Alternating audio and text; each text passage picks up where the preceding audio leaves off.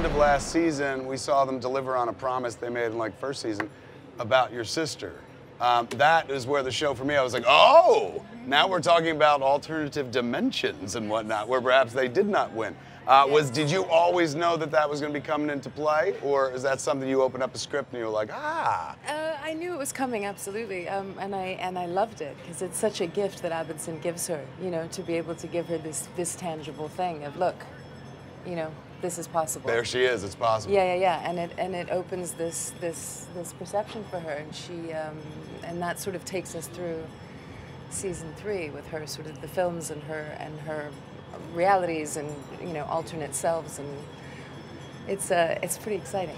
I also quite like the fact that they didn't go too quickly to that in terms of the genre. Right. That they eked out that slowly because it's quite Yes. important to really invest in the world that we had established before you start spreading yourself too thin. So I thought it was quite It's, clever of it's important to be like, look at this horrible world for like a whole exactly. season before you're like, hey, there's a chance there's another world. Yeah, like, exactly, exactly. That, so the stakes are higher. Uh, you uh, come from another world altogether. Ireland. Yes.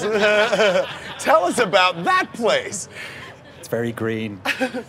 What's it like jumping into the something that's been running, ju- leaving something that's been uh, running and, and you got to have fun with, and then jumping into another uh, fan or genre related project? Agents of Shield has a very certain definite tone, and, and Man in the High Castle is quite quite quite a bit darker. And it's also ten episodes, no commercial breaks. I mean, it's just it's fantastic for an actor because you don't have to, you don't always have to end uh, a scene on like you know come back in five minutes kind of kind of a thing. Illuminate for me when you come to Comic Con or when you go any place in the world and you run into fans of The Man in the High Castle.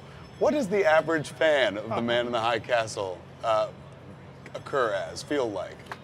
Would it be different for you? Yeah, wouldn't it's different for me. I mean, I have told this story before, but I was in West Hollywood and someone Zeke me through a coffee shop window, which was, you know, I think they thought that they were being kind of wry and amusing, but I looked away and then they came out because they thought the problem was they hadn't Zeke with sufficient clarity. With so they came in and I was holding my kid and I was like, hey, what are you? And he was like, oh, sorry, inappropriate. Mildly.